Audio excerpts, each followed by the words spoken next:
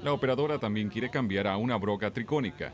Esta broca es menos agresiva que una de PDC y perforará un poco más lento. La selección de la broca es muy importante para la perforación, así que vamos a ir a revisar eso ahora. Hay dos categorías básicas de brocas, brocas de conos giratorios y brocas de cortadores fijos.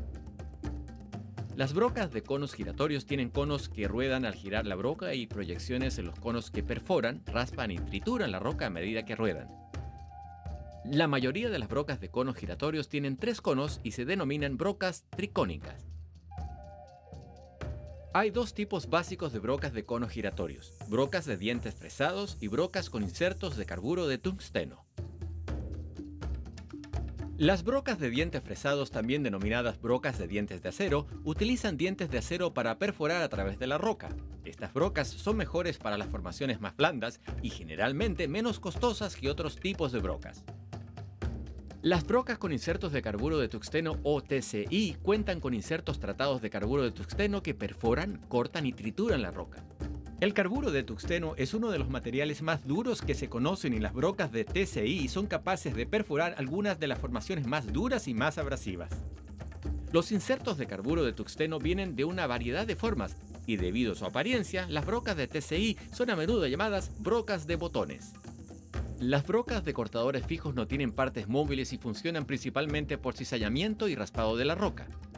Las brocas de cortadores fijos incluyen la broca de diamante policristalino compacto, las brocas de diamantes naturales y las brocas impregnadas. La broca de diamante policristalino compacto o brocas PDC tienen cortadores de carburo de tuxteno cubiertos con capas duras de material compuestos de diamante. Las cuchillas están inclinadas y dispuestas para cizallar canales en la roca. Las tapas de diamantes se producen mediante el calentamiento y compresión de granos de diamantes artificiales con carburo de tuxteno y otros aglutinantes metálicos. Las brocas de PDC vienen con una amplia variedad de diseños que se pueden utilizar para una amplia gama de requisitos de perforación.